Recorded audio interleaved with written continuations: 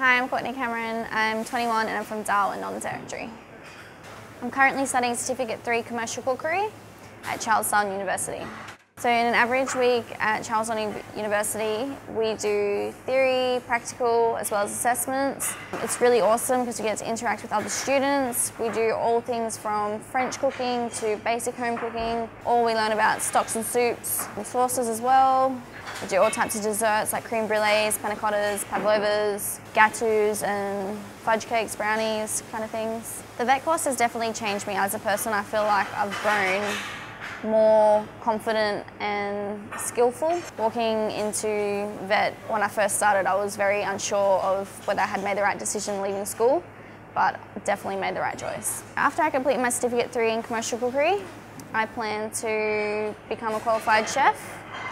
Um, after that, my career in cooking, I wish to travel the world with cooking, as well as one day hopefully open my own small business. I would recommend VET to people who are looking at leaving school as well as anyone who has done a trade and looking for new opportunities in different career aspects. It is awesome. You get to learn on the job and in uni.